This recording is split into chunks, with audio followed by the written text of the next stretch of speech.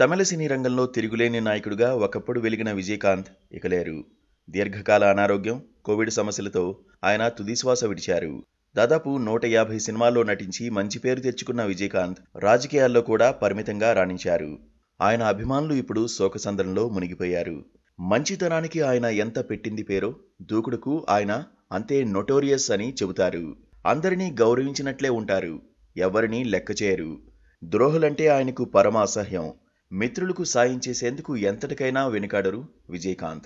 తమిళ సినీ రంగంలో కెప్టెన్గా పిలిచే విజయకాంత్కు మూడోసారి కోవిడ్ వచ్చిన కొన్ని గంటల్లోనే డెబ్బై ఒక్కేళ్ళ వయసులో ఆయన తుదిశ్వాస విడిచారు. చెన్నై మియాట్ హాస్పిటల్లో ఆయన చికిత్స పొందుతూ చనిపోయారు.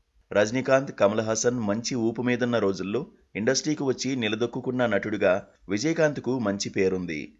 ఆయనలో ఒక యాంగ్రీ యంగ్ మెన్ కనిపిస్తారు. ఆయన ఎప్పుడూ పది మందికి సాయం చేయాలన్న కోరిక తప్పితే ఆయన ఎప్పుడూ తప్పటడుగులు వేయలేదు. విజయకాంత్ పంతొమ్మిది వందల యాభై రెండు ఆగస్టు ఇరవై ఐదున మదురైలో జన్మించారు. ఆయన అసలు పేరు నారాయణన్ విజయరాజ్ అళగర్ స్వామి. చిత్ర పరిశ్రమలోకి వెళ్ళిన తర్వాత విజయకాంత్గా మారారు. తల్లిదండ్రులు కెఎన్ అలగర్ స్వామి ఆండాళ్ అజగర్ స్వామి. విజయకాంత్కు భార్య ప్రేమలత ఇద్దరు కుమారులు ఉన్నారు. కుటుంబరీత్యా విజయకాంత్ కుటుంబం నాయుళ్ళు ఖచ్చితంగా చెప్పాలంటే పదిహేను నుంచి పదహారు తరాల క్రితం తమిళనాడు వెళ్ళి స్థిరపడిన తెలుగు కుటుంబం వారిది. ఆయన తమిళనాడు సంస్కృతి సంప్రదాయాలు తమిళ భాషను వంటబట్టించుకుని పచ్చి తమిళులుగా మారిన కుటుంబం వారిది. ఆయన నటించిన తొలి సినిమా ఇనుక్కుం ఇలమై పంతొమ్మిది వందల డెబ్బై తొమ్మిదిలో విడుదలైంది. ప్రతినాయకుడి పాత్రతోనే ఆయన ప్రేక్షకులకు పరిచయం అయ్యారు.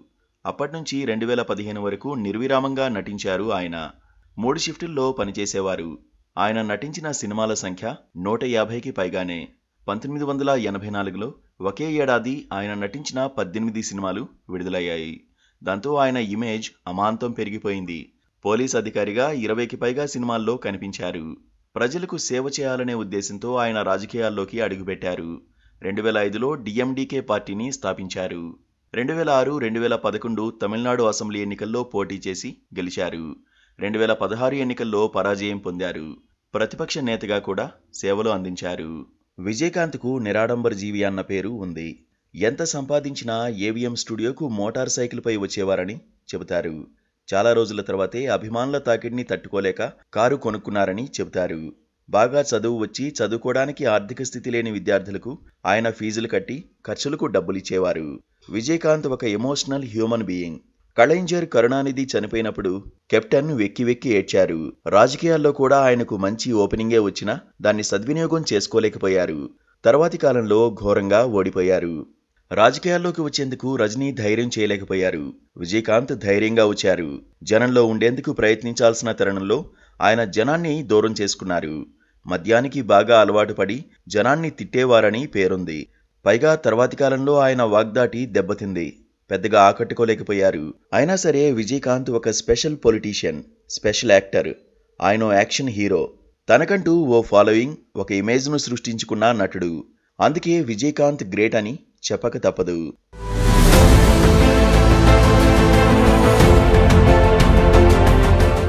Please subscribe to subscribe to Please subscribe. Please subscribe to please subscribe to KTV Telugu KTV Telugu. KTV Telugu. KTV Telugu to KTV Telugu KTV Telugu channel.